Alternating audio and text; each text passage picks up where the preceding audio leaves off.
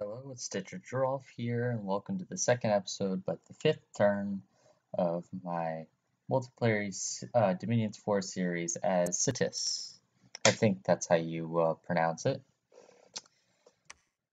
Once again, I'm going to go through this quite quickly as I want to talk as, uh, you know, the least as possible, preferably with my teeth being really sore message from Pangea. They're basically going like, yep, yep, Hel Helheim's powerful, da da da da. And uh, that also means that if I see Pangea or Helheim, the other one's probably nearby. Berytos, once again, uh, uh, being nice and, uh, you know, casual. I don't know if he's being doing it with every nation, and that uh, uh, that suspicion that he might be doing with every nation is what keeping me from like going super buddy buddy, which seems he's proposing to do. Richard and Conjuration is complete, so I could summon my Black Servants now, and a battle in Longshank.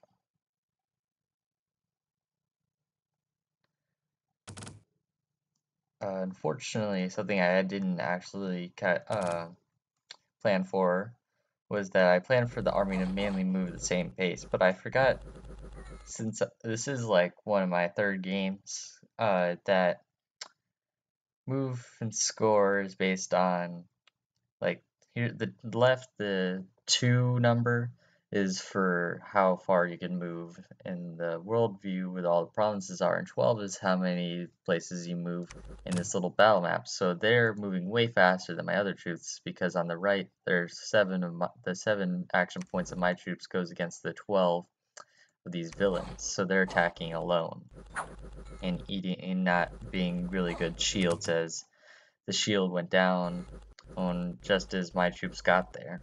So uh, just gotta learn to improve. There goes the Falchineer, who didn't really do that much in his own right. Even though he did cost quite a bit.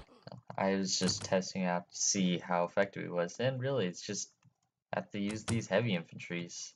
And they're routing, they're routing now. We win. Easy peasy. This guy dies. Yep, there we go we found a copper deposit uh, mine. Uh, it was well, actually, we didn't really find it because we didn't search for it, but it's just random uh, event that happened. That's really nice because that gives us 20 straight gold on top of everything else the province gives me. I don't know if the if the 20 straight gold would be better than just giving 20 the income. I've I've know I've read over the man uh the manual about uh income and stuff, and that's also like uh, helping me choose places where I think I want to build uh, forts. But I just had to quickly go over it again to be able to tell um, uh, whether income's better than, uh, better going through. I think income's worse if you put just added 20 income then rather just give 20 gold straight to me. I, I think. So something interesting here's here's an enemy dominion who actually is different than this dominion over here. Sorry about that. Yeah, a little interruption once again. but I was talking about the Dominion difference, which means there's two players button head down here. Probably gonna be, uh, we're gonna see a lot of that is between these, the bridges of these two lands. Well, actually four lands. I don't think the player's gonna be over here. I think he's gonna be over here and this player is going to be over here. I don't think he's like over in this area because Fergal Forest is still free of any um, enemy dominion. So he's going to be in the at least like these. I doubt he's right here because he most uh I even when I look at my own dominion, I've spread it to the adjacent provinces, so it could be here, here, here, here. Or here. I highly, highly doubt right there. Actually, no. It would spread, spread to the hidden forest, most likely. So, yeah, one of these four. And if he's the rightmost on here, then that means that this player will be farther the way that the far the the farther to the right, uh, east that the player right down here is, the farther the east that player over here is probably. At least I'm pretty sure that's how it works. So, now that I know that I have two people uh, down here who are going to be looking to, uh, probably this person's just going to uh, say that it's fine to own this, and then we'll look for interest in other places. And this person will take all of this land all the way up to Fergal Forest. I really don't want to get in a fight with this person down here if I could possibly avoid it. And plus they have a, they could uh, have uh, maybe some luck going down here if uh, winter comes around. So I'm just going to focus on my north, uh, west, turn territories, move, gonna move on to Dimrel Wood because uh, it's only 30 militia and archers. The archers are the probably the scarier ones because the militiamen really poor attack and defense skill. My guys will just run them over even when we have half of them. Uh, oh, only like a 17 to 30 fight. Um, probably go attack. Well, not not with this same force. I won't be able to attack in the Dimrel. Uh, I'll need backup from uh, these guys before I could continue on. And that would be probably where uh, conquest with uh, Gohan will stop uh, until Balit Balali can catch up. Grab troops I'm recruiting more heavy infantry and sacred servants because can never have enough standard troops finishing my Sauromancer to find more magic sites. I'll come back after conquering this territory up here. I don't know how much I'm gonna conquer. I'll see based on like where people, where enemies, uh, other players appear to be. It'd be really nice for me to control this choke point. However, controlling that uh, this area right here could be threatening to a person who would be up here if there's one. And I want to come back down and take Thorm, Ravenna, and other provinces. I can't do that if I just have these guys. Uh, if I have my main force uh, just indefinitely trying to look for expansion up here.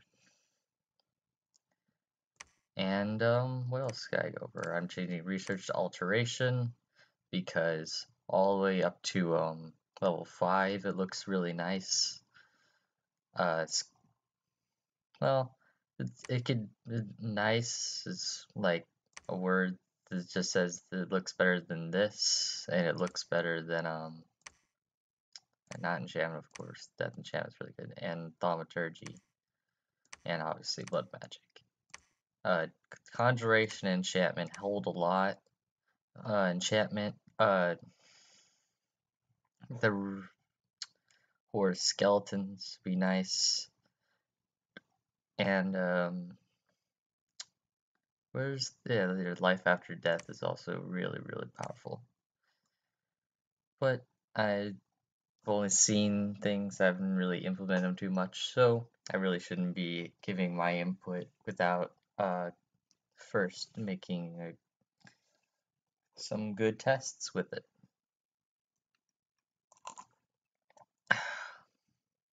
So, conjuration all the way up to summon ghosts. It's nice.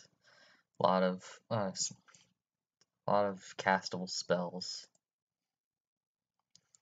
However, some of them are meh, like well, I can't cast corpse candles. The ghost grips is also meh. Death enchantment, of course, that's where you get all your raising of the raising of dead and in alteration. A lot of adverse effects I can cause on my enemies. Enfeebling them and giving them vulnerability for someone if I want to uh, if I want to put, what is it, like a caster, uh, Sauromancer into um the Arena Deathmatch with the vulnerability, probably be really effective. And then Drain Life for two if I'm willing to throw up uh, the extra um, edge, uh, the extra things to increase magic. So I'm pretty sure Sauromancers are not gonna start out with um Oh no, they could. They could start out with four death. And yeah. Well, mercenaries, Berytos uh, accrued the Black Fists. I'm not gonna bid on the Arnaud archers.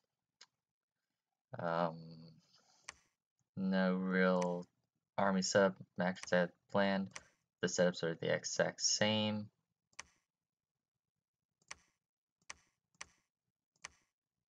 over here I moved in the front because my belief is I I don't know if this is right or not, but I believe that the farther they are at the front, the farther they'll um the closer they'll be the enemies when the ma when the um